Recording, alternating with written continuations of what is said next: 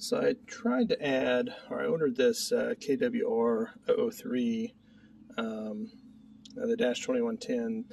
That wasn't advertised on eBay on the seller, but it was just advertised as a KWR 003, and that's what was on the box. So maybe the 2110 doesn't matter. Anyway, um, I got it for my dump trailer. Now my dump trailer is a um, power up and gravity down. It's got the front hoist. Um, and so it's just, you know, it's two functions. And when I got it, I was kind of disappointed because um, I don't know if you can tell, but the connectors are not right. Um, so mine's a three connector and this is a four connector, Oops. and it's a lot bigger.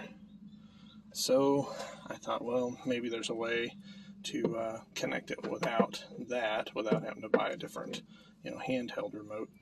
Um, and so I got to looking at the circuit board in this little guy, and there was two these two wires. Go back over to this.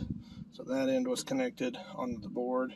And of course this end was connected to that set of wires. So I, I clipped it clipped that one off and then I carefully clipped that off the board. If you look at the board these wires go to the same location essentially on the board. So they're they're essentially the same wire so I, I, thought, I speculated that I could get rid of one set of the wires and then just hook those remaining four or whatever I needed um, up to the three wires that I had.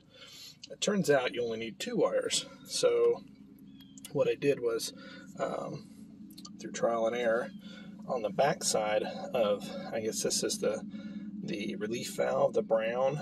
Um, now the brown is connected to uh, my existing right? So there's three wires. There's uh, this blue one, the green one here, and then this brown one.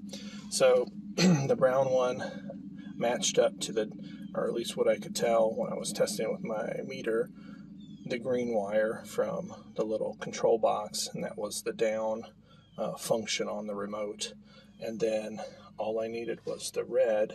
It was the up function uh, on the remote, and the white has power, but it's not needed anywhere. Um, and actually tried to hook the white up here, and what happened was it would try and go down, but it would immediately go up. So it was kind of getting power to the up and down. So I guess it was energizing the, the relief valve and energizing the, the power up part of the valve. Anyway, so I removed that and just had the two wires. Um, there was a black wire in there, which is essentially a ground, but there was already a ground to the board that went to the battery, so didn't need that either. So really just two wires, um, the red wire, which was the up, and the green wire, which was for the solenoid to re- or the relief valve on the um, on the pump or on the unit.